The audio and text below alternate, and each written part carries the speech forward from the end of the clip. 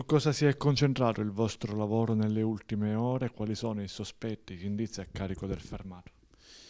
Il lavoro sin dai primi momenti che, del, diciamo, de, della scoperta appunto, del cadavere da parte del nipote dell'anziana dell signora si, sono, eh, si, è concentrato ovviamente su tutti gli elementi che in caso di omicidio la Polizia di Stato eh, va a valutare. In particolar modo abbiamo valutato sia le dichiarazioni dei vicini di casa che magari potevano aver sentito udito qualcosa come un litigio o aver visto qualcuno entrare o uscire da casa, ma come ovviamente di consueto facciamo abbiamo analizzato tutti i sistemi di videosorveglianza pubblici e privati della zona di interesse dell'omicidio e poi chiaramente allargandoci anche nelle zone più periferiche. E, ehm, eh, il, le indagini si sono concentrate sin da subito appunto sul soggetto che abbiamo fermato che è l'ex marito della donna in considerazione del fatto che propri parenti, in particolar modo il nipote convivente di,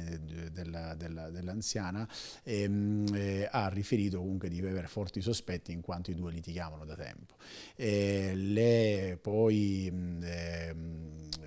contrastanti dichiarazioni rispetto alle prime fornite diciamo, nell'immediatezza dei fatti quando l'abbiamo fermato, ovvero neanche dopo 20 minuti da, dal, dal, dal, rinvenimento appunto del cadavere, eh, perché insomma, gli uomini della squadra mobile e della, della, squadra volanti si sono subito prodigati per andare a individuare il soggetto tipo, dove poteva comunque aver trovato rifugio ed effettivamente l'abbiamo trovato nei pressi dell'abitazione della madre, eh, dell'anziana madre diciamo, con la quale lui ogni tanto appunto viveva.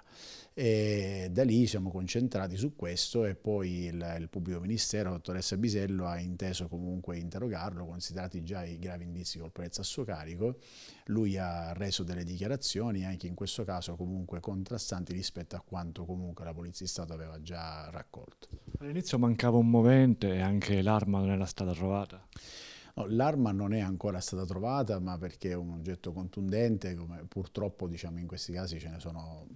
centinaia di migliaia, quindi non è semplice individuare la tipologia ecco, di oggetto. Ancora l'esame autoptico dovrà essere fatto perché per legge insomma, sono dei tempi tecnici e le garanzie difensive, quindi eh, questo nei prossimi giorni ovviamente potrà chiarire meglio il medico legale. Eh, però eh, nel contempo dico comunque il, diciamo, noi abbiamo eh, raccolto degli indizi di colpevolezza tali in questo momento da fermare un soggetto che è gravemente sospettato di aver commesso il reato. Il movente sarà sicuramente quello economico?